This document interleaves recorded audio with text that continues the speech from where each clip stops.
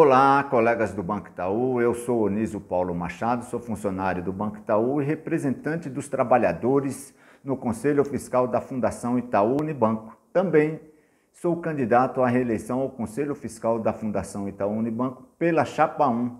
Fundação para Todos, o futuro é nosso. A eleição ocorrerá entre os dias 5 e 13 de maio de 2021, onde estaremos elegendo os nossos representantes ao conselhos deliberativo fiscais e aos comitês de gestão de plano de benefício. Podem votar os funcionários ativos assistidos, autopatrocinados e aqueles que estejam em fase de opção pelo benefício proporcional deferido, que sejam participantes da Fundação Itaú Unibanco e que estejam em algum plano de previdência dentro da fundação.